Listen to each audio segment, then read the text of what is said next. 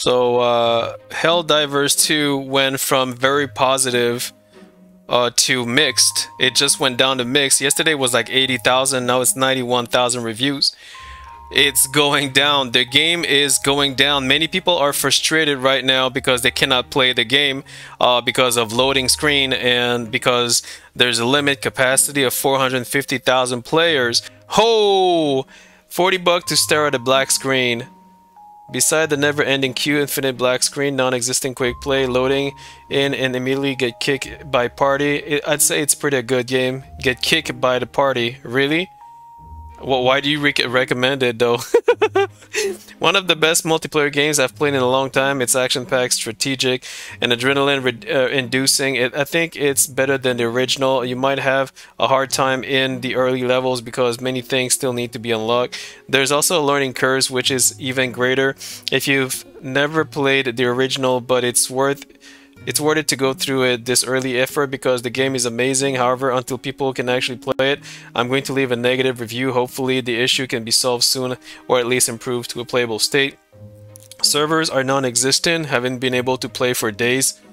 Oh, the guy, the guy haven't played for days, bro. This is sick. Best 30 minutes of gameplay I've had in my life. Hope some someday I get to play at least an hour. and he gives a thumbs up, really? Wow, he just get to play 30 minutes. Holy shit, in three oh, this is sick. Fun game, but wait till it, till it ain't buggy mess. Kill. Fun game if you get past the queue. wow.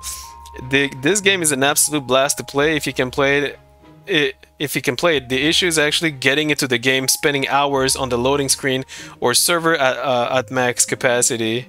Oh my god, this is so sad, man. This is very sad.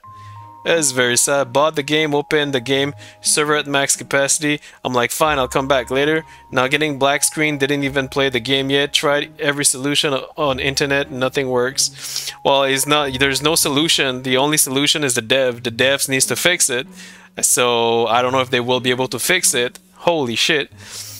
Product received. You will actually spend 30 minutes to manually open and close the game to get past the black screen to get the privilege to wait in the in the server at capacity line where you will wait another 30 minutes to get in that is if the timer doesn't disappear and you don't crash only then you will be able to play the game that makes you feel it was worth it because it is this game is fantastic and I could see his winning game, uh, it winning game of the year, but it needs to fix this yesterday. It will, uh, it, I will change my recommendation when this change. Steam says I have 8 hours, that is wrong. I may have maybe 2 hours of gameplay.